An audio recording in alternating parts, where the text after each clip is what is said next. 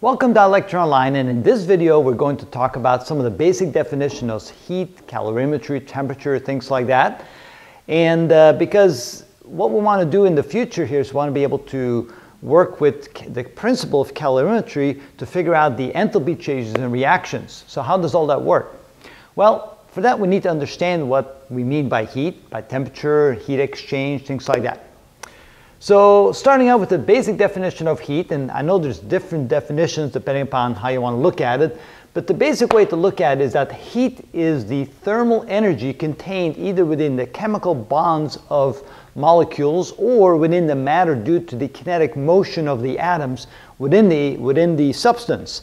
So for example, if atoms are vibrating back and forth, they have a certain amount of kinetic energy, and that translates into heat contained within the object. Or when atoms bond together, they either release or absorb energy, and that energy is then locked within the bond. So to release that energy, you have to unbond them, or in some cases to release energy, you have to bond the, the chemicals together. So it, it depends what, whether or not it's an endothermic or an exothermic reaction. So in that respect, if you then take an object and you remove that heat from it, you can do that uh, by making the object colder. In other words, when you remove heat, the result is the object will become colder. The temperature will become less or lower. And typically we use the letter Q for heat, and when you remove it, it's kind of like a negative Q. You're taking heat out of the object. If you add heat to the object, you will cause the temperature of the object to rise. So the temperature of an object is almost kind of a measure as to the kinetic energy state of the object. I didn't say the amount of heat in the object, but the kinetic energy state or the heat state of the object. And so temperature is actually a measurement of the relative hotness or coldness of an object. For example, if you take two objects side by side, when one is hotter than the other, that means that the energy state of the one is higher than the energy state of the other. Then if you bring them in thermal contact, with other words, you bring them in contact with one another, heat will flow from the hot object to the cold object. And that is an absolute, that will always happen. It will never happen the other way around. The net heat flow will never be from cold to hot, it will always be from hot to cold. And eventually, as more and more heat then moves from the hot object to the cold object, the hot object will become cooler, the cold object become warmer, and that will continue until both objects are at the very same temperature, which we then call the two objects are at thermal equilibrium. They're now at the same temperature. Now their energy state or their temperature state is the same, and heat will stop flowing between the two objects. Now, the change in the temperature on an object, for example, when you add heat to an object, the change in the temperature will depend upon a few things. One of them is the mass of the object. For example, if you have a very big object, you need a lot of heat added to the object to make the temperature go up a little bit. If you have a tiny little object, you add heat to it, the temperature will rise very quickly. So it does depend on mass. And it also depends on the property of the material, which we call the specific heat of the material, because with some materials, when you add a certain amount of heat to it, the temperature will go up a little bit. And with other materials, when you add a little bit of heat to it, the temperature will go up a lot for the same amount of material.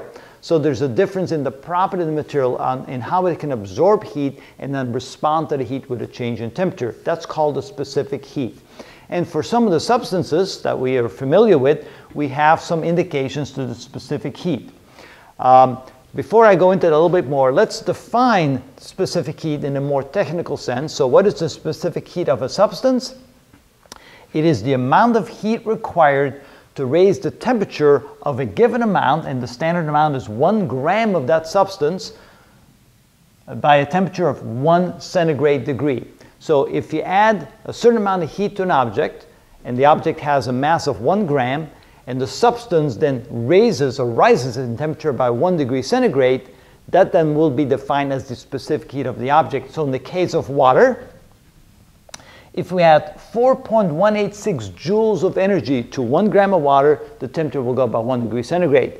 Now, in that case, I can also write it down here, 4.186 joules, so this is in terms of joules, and maybe I should have put joules behind it. So this is joules, and that would be, of course, per gram times centigrade degree, per gram times centigrade degree, and so forth, right? It's a certain amount of energy per gram of the substance cause the substance to rise up by one degree centigrade. And of course, for water, 4.186 joules is exactly equal to one calorie. That's where the definition of calorie came from, is if we add one calorie of heat or one calorie of energy to one gram of water, the temperature will go up by one degree centigrade. And even to be even more exact about that is only if the temperature rises from 14 and a half to 15 and degrees centigrade. But that's just a small formality.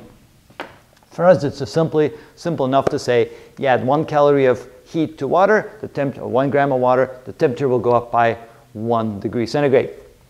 Or properly said, one centigrade degree. And of course, well, that begs the question, whoop, there goes my pen, uh, one centigrade degree is not equal to one degree centigrade. So it's again a small formality, but sometimes we misuse it. What this means is when we say one degree centigrade, that means it's one degree above zero degree centigrade. One centigrade degree is just the difference between one and the other. For example, the difference between 20 and 21 or 35 and 36 and so forth. All right. So the example here is that the specific heat for water is equal to one calorie for every one gram of water, making the temperature go about one centigrade degree, or add 4.186 joules of energy to one gram of water, the temperature will go by one centigrade degree. So it's the same thing. And now you can look at some of these others. For all other substances besides water, it's usually less. Water has the greatest heat capacity of just about any substance that we know of. Right. Now, heat capacity. Sometimes we hear heat capacity, sometimes we talk about specific heat. What is the difference? Well, the heat capacity is really the capacity of how much heat an object can hold. And again, that depends upon the mass and the specific heat of the object. For example, a large object with a lot of mass can hold a lot of heat, small object can hold a little bit of heat, so that's the way to think about it. So heat capacity is simply the product of the mass times the specific heat, so it's the heat required to raise the temperature of the whole object by one centigrade degree. So not just a gram of the object, but the whole object, so it does depend on mass as well as the specific heat. Now, we will be talking about this a lot, delta Q equals mc delta T. Some students say, hey, that looks like MCAT if you think of this as an A, easy to remember that way.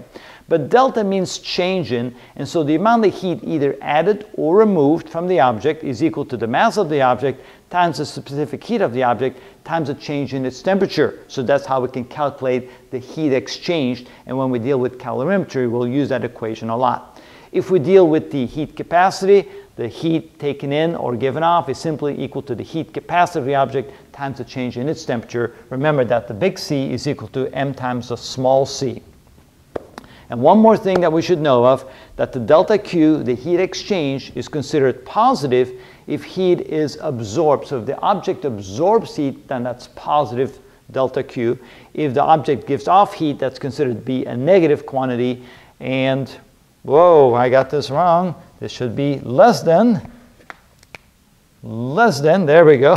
So if it's less than zero, that means heat is given off the object and the temperature of the object goes down. So if an object absorbs heat, temperature goes up, gives off heat, temperature goes down. So here are some of the basic principles, basic definition of heat. Calorimetry will be dealing with heat going back and forth between objects.